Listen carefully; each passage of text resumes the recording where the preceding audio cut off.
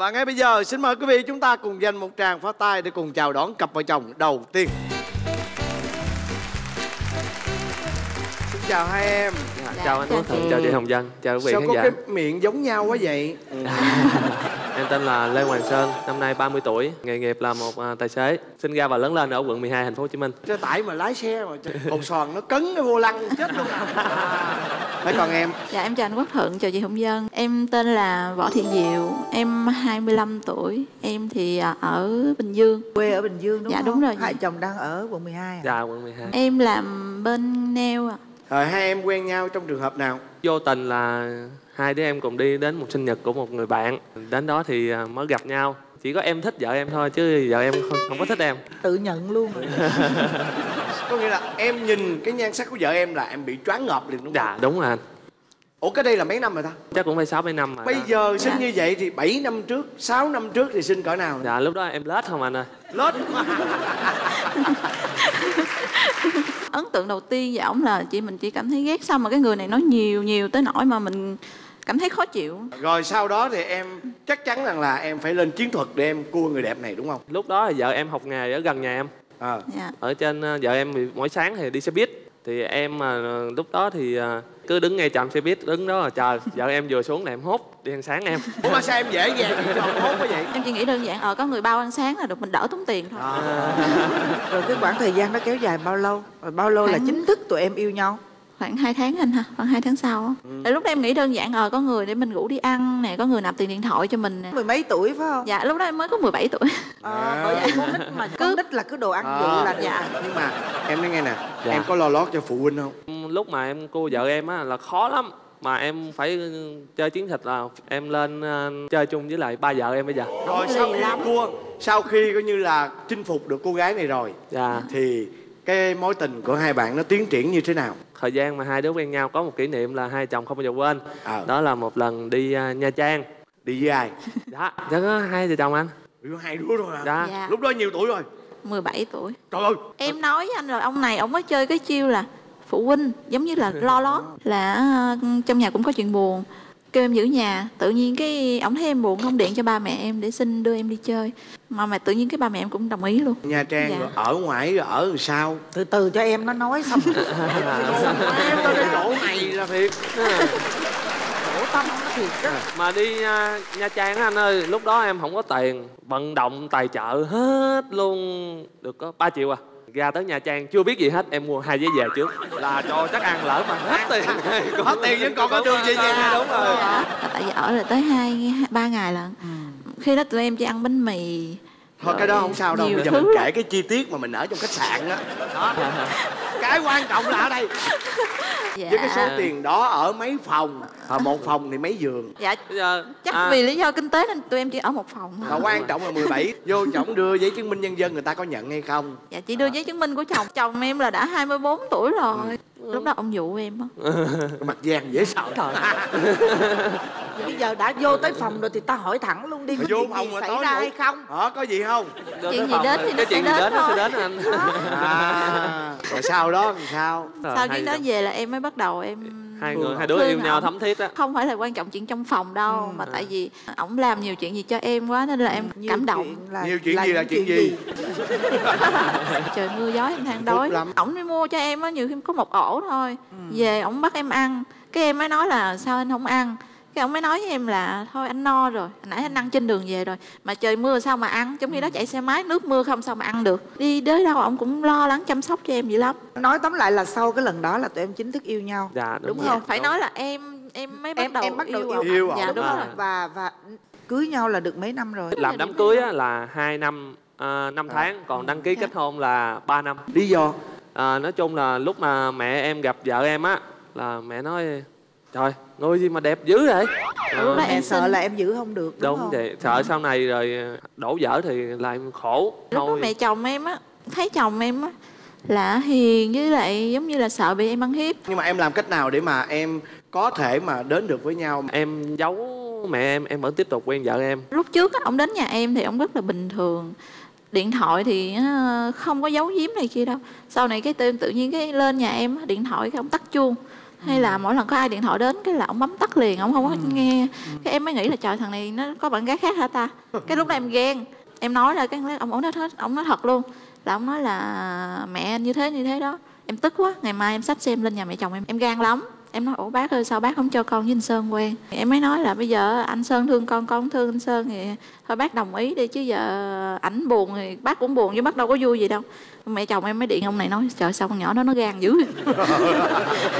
tôi chưa thấy đứa nào mà nó gan như nó luôn á. Ờ. dạ. Vậy thì mới có được kết quả tốt dạ. đúng nhưng mà không? sao em thấy tình hình không ổn? Nên bây giờ em nghĩ là em thấy ngu nè. Là em nói anh ơi em thấy tình hình không được đâu thôi giờ mình đi đăng ký kết hôn đi. Thì ổng lúc đó là ổng nghe lời em lắm. Bây giờ em nói con chó là con mèo ổng cũng nghe theo. Cũng vậy. Dạ em về em lén lấy sổ hộ khẩu em lấy giấy tờ này kia tại mẹ em giữ hết mà. Như đi ăn trộm. Dạ. rồi sau đó là hai đứa ở với nhau như vợ chồng đúng không? Ừ. không có biến cố gì xảy ra nữa. Đăng ký kết hôn xong rồi lại gây lộn nữa. Gây lộn cái ờ, vợ em cũng ờ, đi nhiều khi đi chơi á nói giờ bà mà đi chơi ở đâu là tôi đưa giấy đăng ký kết hôn quăng trước mặt của bà không biết thế nào lợi hại. Nhiều khi đi chơi Cũng trong lúc đó cũng đã thì chia tay, có nam cũng- có cũng nữ anh. lúc đó hai đứa đang giận lộn mà. Thì em nghĩ đơn giản thôi ừ chia tay thì thôi. Hỏi cái em đi đâu em đi chơi với bạn em. Cái ông đi lại đó ông nói vợ tao vợ tao. Cái em mới nói giọng là thôi thôi giờ ly dị đi. Ông mới nói muốn ly dị thì tự đi một mình đi. Lúc đó em mới nói là em nghĩ em ngu ông Rồi. cũng chửi em ngu luôn. Rồi đến khi nào thì hai bạn mới thực sự rằng là à, bỏ qua hết tất cả những gì xung quanh Dạ. mà có thể chấp nhận về lại với nhau. Để đi đến đám biến cưới á. rồi hai đứa quay lại quay lại rồi ờ, bác sĩ bảo cưới nên phải cưới thôi. À, tụi em đã có em bé được bao nhiêu tuổi rồi? Dạ gần 2 tuổi. Mà lúc Rồi. mà nghe có tin có em bé vậy á là có vui không? Lúc đó em sợ lắm. Lúc đó là em em mới 23 đúng không? 22 Dạ là lúc đó là em đã bắt đầu làm riêng ở ngoài rồi. Em á thì em không có biết có thai Em cảm thấy nhức đầu chóng mặt này kia Thì em nói ông là ông đi mua thuốc cho em đi. Ừ. Cái ông cũng đi mua thuốc Tự nhiên về ông đưa cái que thử thai vô mặt em.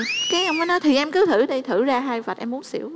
Gia đình Gia hai đình- bên có biết ừ. Em có Cái sự- bầu ờ, mà cái sự việc? Dạ, là có dạ bầu không? Khoảng ờ, chừng 5 tháng sau gia đình em mới biết Một đám cưới nó diễn ra rất là bình thường là Đám hỏi xong rồi tụi em đi chụp hình cưới Rồi khoảng một tháng mấy hai tháng sau mới đám cưới nhưng mà không thấy bụng hả không là lúc đó em rất là nhon À. dạ khi mà Đúng đám rồi. cưới xong là gần 5 tháng rồi là không ai biết gì hết chị À. có bầu 5 tháng rưỡi cũng không ai biết luôn Đợi em có bầu 2 tháng là biết liền Ở với nhau như vậy một thời gian rồi quen nhau một thời gian khá dài dạ Vậy thì có bao nhiêu tật xấu lòi ra không? Nhiều lắm nhiều rồi lắm. tới giờ rồi đó. Đó. Dạ. Tới giờ Dặt rồi đi em bây giờ mà giấy mà em viết ra là em viết không hết. Vậy hả? Thôi bây giờ mình lấy lắm. cái tật xấu nào mà nặng nặng nhất ra đi em. Ông ơi dơ kinh khủng. Hồi lúc mà mới mới quen em đâu có biết đâu. Khi mà quen nhau mấy năm khoảng hai năm mấy đi coi kịch chị hồng vân nghe cái mùi gì nó hôi hôi. Nó không phải là hôi nữa mà nó chua chua. Thì ra là cái áo của ổng mấy ngày sau mình lại nằm lên đùi ổng cũng gì chua chua. Chua chua nữa. Dạ. Thì ổng mới nói thiệt với em là quần hai ngày chưa giặt ổng nói thường thường đồ của anh cả tuần mới giặt ngày nay mặc cái quần này với cái áo kia thì ngày mai áo kia với cái quần nọ À. vậy đó tại nó cứ đổi qua đổi lại nhiều nói nhiều lắm khi xỉn vô nói rất là nhiều nhiều tới nhiều khi mà em bực quá em nạt một cái không thôi em tán một cái ông mới nín Vậy đó hả? Dạ. Còn gì nữa không? ở đây nói xấu được mà đúng không chị Đúng, trời Dạ. vui, thoải mái em nhậu nhiều nữa tài hồi xế trước mà nhậu là lý hồi do trước vậy khi mà yêu em á lăng em là á, nhậu bao vậy. nhiêu là bây giờ là nó nó nó thay đổi hết. Không? không. Là cái ngày hôm đó là ngày tình nhân anh ha. Cái ổng lên ổng tặng cho em á, một bó bông. Ổng nói em ơi anh tặng bông em nè dũng công ty nó ế giờ tặng em nè. Trời ơi. Giờ để nhà nhiều quá giờ mẹ anh kêu em tặng cho em nè. Bông này thì Ai- không có cúng được chị. Ai khiến ông nói cái câu đó chi vậy? Rồi bây giờ tới bạn đó, bạn Sơn. Dạ. Giờ em nóng tính ghê lắm. Làm bếp làm nút thì có kéo có nút gì giờ em nói đang cãi lộn giờ nói giờ anh muốn gì? Là em đằng kia kìa. Hút qua đằng kia luôn. Là bỏ chạy hả? thôi mới mới cầm lên giờ anh muốn gì? Là em chạy ra khỏi nhà luôn rồi. coi chắc ăn ổng nhát gan lắm. Em đang cắt đồ em, em lên like hay này kia. Em đang cầm để cái kéo đó. Em đưa Ờ, vậy. vậy thôi. Ổng bỏ chạy mà tới mức mà cái xe ổng dắt được mà đôi dép ông còn để lại. Chạy mất dép vừa Thì, à, vừa chạy mà còn vừa la nữa. Chú ơi chú hương diệu nó nó đâm con này kia có Em cái biết thời đó là em. cái tiệm tóc á mà em Vợ phải em- chuyển chỗ đi luôn á. rất là nóng tính. Khi mà giận lộn là trong tay có cái gì là phan cái đó. Mà lỡ quên vợ em đang cầm con dao mà quên tưởng đâu cây chổi chổi em một cái sao em sao mà chụp dao được sao mà chụp dao được? À, em đâu có công Gây lộn với vợ là bao giờ cũng là kèo dưới đúng dạ đúng rồi lúc nào cũng vậy á. Không hồi trước khi cưới thôi chứ sao là anh kẹo trên không? Dạ. Không? Phải không? là ổng có cái tính này nữa nè là dặn nhây á nhiều khi ổng đi nhậu nha ổng bỏ mẹ con em nhà một mình cái em nói ngày hôm nay ngày mai ổng đi hơn giờ đó nữa. Nghĩ hả? vậy đó nói Đang không đi tới, nữa tới, rồi tới, sao? tới, cái, tiết mục của em nói xấu vợ mà. Ờ đúng rồi kể vợ chồng công bằng Ờ, mà. dạ, đúng rồi đúng em, rồi. em em nhiều tật lắm vợ em kể tới sáng luôn á chết em á. Thứ hai là rất là ở sạch mà em ủa cái đó thì không Rất là ở sạch. xấu hả? Ờ, nhiều khi ở sạch ừ, nó hơi quá lố. Bước vô phòng mà có mùi lạ cái là vợ em cầm chai xịt phòng.